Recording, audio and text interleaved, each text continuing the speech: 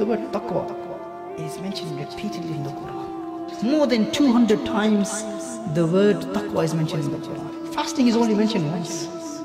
Why is that? If Allah knew this. People will fast. They will remain hungry and thirsty. But one thing that people will not do is taqwa. They will not attain taqwa.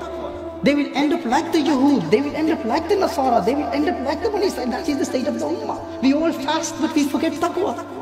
We forget the maqsad of fasting. You're not eating, you're not drinking, you're not fulfilling your desires. That is Saum. But this is not the maqsad of Saum. You know, if something which is, if something which is halal in Sharia, in the month of Ramadan, it becomes haram.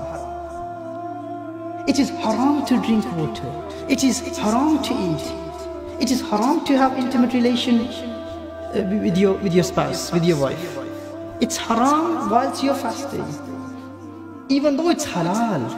But in the month of Ramadan, it becomes haram. What would be the state of that person who commits haram in the month of Ramadan when halal has become haram in the month of Ramadan? Hmm? The maqsad of this is to attain taqwa. The way our, when our throat asks us, look, give me some water. When our stomach begs us, give me some food. We don't, we don't listen to our stomach, do we? Why is it when our eyes want to look at haram, when our ears want to listen to backbiting, or when we're about to touch something which is haram, we don't say to our hand, you can't do this.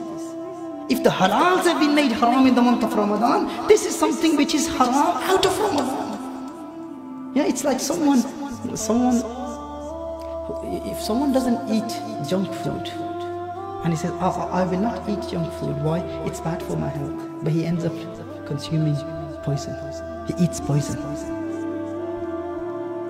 He starts eating poison and he doesn't eat junk food. Why?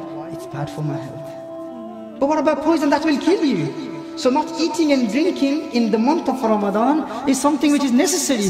But looking at haram, speaking haram, committing haram, missing your prayers, that is like poison. That is like zahir. And why do we do that? Because we don't have taqwa. We don't have taqwa. And this is why constantly Allah Jalla is reminding us. Taqwa, taqwa, taqwa, tattaqun, ittaqullah. Why? That is the goal of Ramadan, to attain taqwa. And what is taqwa? Consciousness of Allah Jalla Awareness of Allah Jalla To know that Allah is watching me. To fear Allah Jalla